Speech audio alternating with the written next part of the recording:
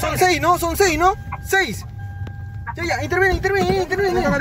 La Policía Nacional desarticuló la peligrosa banda denominada La Familia Peluche, dedicada a robar a pasajeros de buses y combis de transporte público en Los Olivos.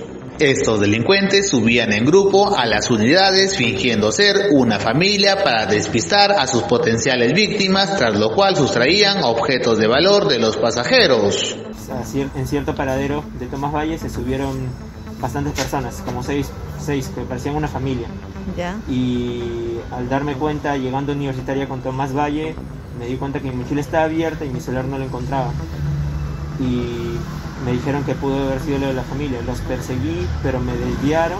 Dijeron que no lo tenían, quien estaba seguro que sí tenía mi celular. Los presuntos ladrones fueron intervenidos tras robar un celular en el cruce de las avenidas Angélica Gamarra y Tomás Valle. Los detenidos son Jeremy Pentería, Richard Jiménez, Carlos Fernández, Lady Pablo, Sareli Marco y Rosa Alfaro.